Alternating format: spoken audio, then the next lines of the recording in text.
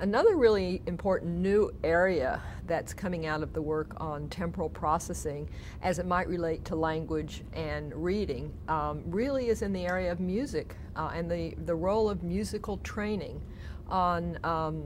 on aspects of cognition. And this work is coming from looking really at potential differences between individuals who have had professional or ongoing musical training um, for many for, for, many years, and those who've never had musical training, and then looking at their different cognitive and perceptual and linguistic and reading skills. And so that's a whole growing new area of science that's extremely interesting.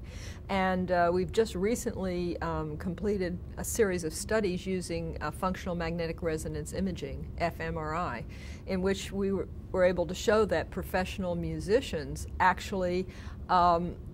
process information differently, auditory information differently in their brains than those who are not professional musicians or who are non-musicians. And what's really interesting, it's turned out that the um, aspects of their processing occur in speech and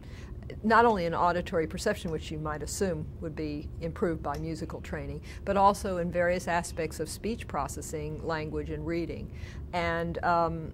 the final piece that pulls that back into temporal processing is the finding that the same areas of the brain that are involved that are different in those individuals who've had musical training versus non-musicians are also um, enhanced for rapid auditory processing. So kind of a long way around, what that suggests is that rapid auditory processing might actually be being enhanced by musical training, and that might be another way in to um, enhancing some of the Fast ForWord programs is through um, enhancing the musical components of it, which would also make it much more interesting for kids, I think, in many ways.